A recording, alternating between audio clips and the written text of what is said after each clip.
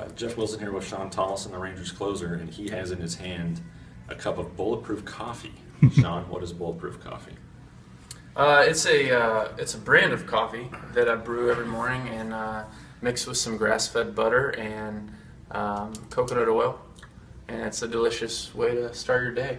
what, what were the benefits of it? Why, why not just regular old Starbucks coffee? Uh, it just gives you that good quality fat you need to start your day. You know. Yeah. Why do you Why do you do the fat recovery? Yeah, I mean it helps with recovery. Uh, it's what your cells use. Um, it's good for your brain, Your brain. just all around, and it keeps you full, which I'm always looking for.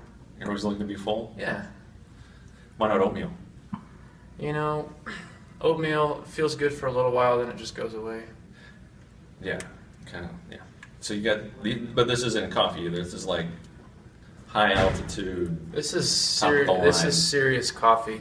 Uh, I brew it here in the clubhouse in my travel-sized French press, just like I do during the season, uh, before every game, and uh, that's how I start my day. How long have you been doing this? A couple years. A couple years. Yeah. Are you addicted? I wouldn't say I'm addicted, Mm-hmm. but other people might argue against that.